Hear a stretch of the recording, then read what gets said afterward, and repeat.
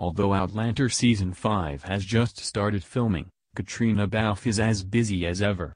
The Irish actress has revealed that she is currently working on a couple of writing projects and she plans to direct those too.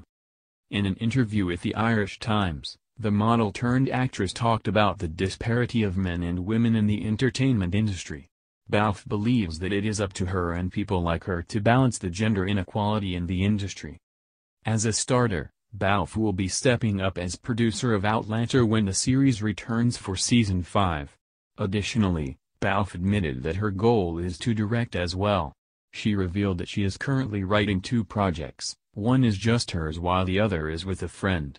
The actress added that she intends to direct these projects as well. The goal would be to at least try, directing, once and see if I'm any good.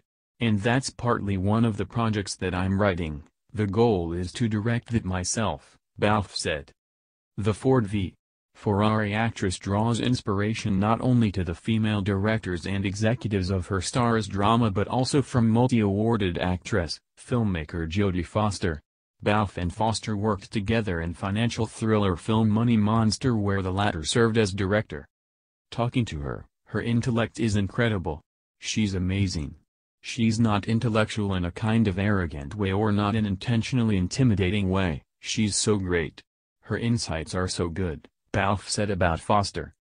Meanwhile, Caitriona Balfe also paid respect to the person who helped her career and one of her mentors in the world of fashion and modeling, Karl Lagerfeld. The famous designer passed away in Paris this week at the age of 85. In her post on Instagram, Balfe recalls the time when she is starting her career as a runway model. I was privileged to work frequently with Karl Lagerfeld in my early career as a model. Those were truly the highlights of my career, he was a true icon and a creative genius. I am so grateful I was fortunate enough to meet and work with him, she wrote. Balfe also shared on Twitter a compilation video of her working with Lagerfeld in some shows.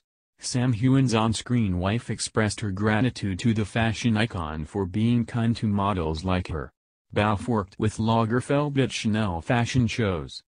The actress along with Sam Heughan and the other cast members of Outlander have started filming this week in Glasgow, Scotland. Outlander Season 5 is expected to premiere in fall.